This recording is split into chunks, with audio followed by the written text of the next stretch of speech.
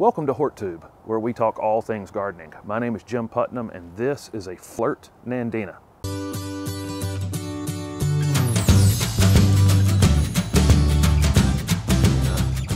This is Flirt Nandina, a dwarf Nandina that stays evergreen and has beautiful new red growth throughout the growing season. Flirt is a dwarf Nandina that'll only reach about two feet in height, maybe two and a half feet in width. It's just a fantastic low growing evergreen shrub.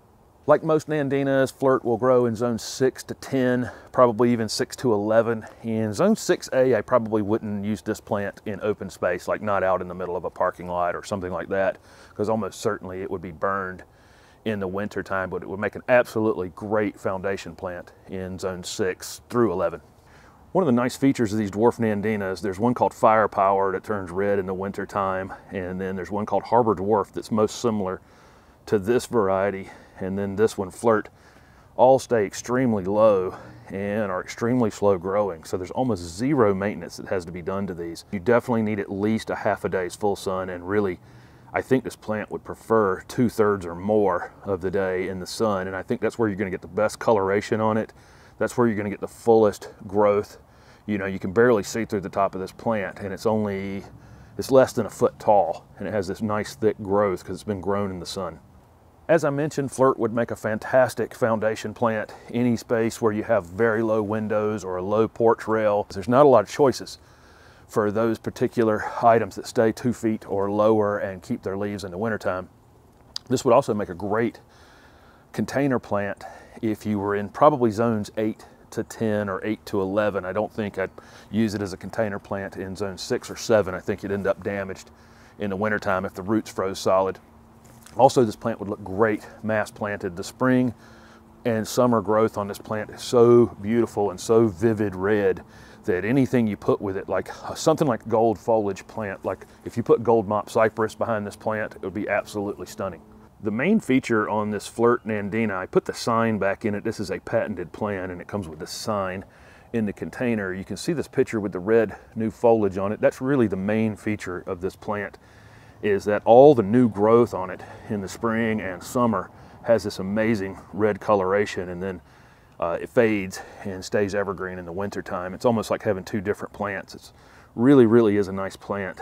And uh, this one or Harbor Dwarf. Harbor Dwarf has a little more purple rather than red coloration on its new growth, but both of them are really, really nice plants and super low maintenance. In terms of planting Nandinas, they're really kind of rugged plants. We don't have to worry about them too much. I linked a video in the description of this video that is for planting them in either clay soils or a separate video for planting them in sandy soils. One consideration we definitely have to be concerned about on Nandinas is they're kind of fragile near the base, especially when they're small like this. So make sure that when you pull it out of the container, you're not pulling on the top of the plant or bending it too much. You can break these off easily. Flip the pot upside down in your hand and lift the pot over your head and that will prevent you from breaking it. Nandinas are very, very drought tolerant once these are established. If you're in an area that gets regular rainfall, I doubt very seriously you'd ever need to water this plant. This is definitely not a plant for an automated irrigation system. Definitely fertilize your Nandinas in the spring. I would use something for acid-loving plants like Azalea camellia rhododendron fertilizer at its slow release, something that'll last three or four months. This is such a slow growing plant, I don't think you're really ever gonna have to prune it. If it ever did exceed the size that you wanna keep it, which is pretty small, you can actually take these, these uh, grow like bamboo and they're layered. All Nandinas are like this, but you can take about three or four inches out just by making a single cut on this stem. I can take three or four inches of height out of this plant. It's really super easy to do.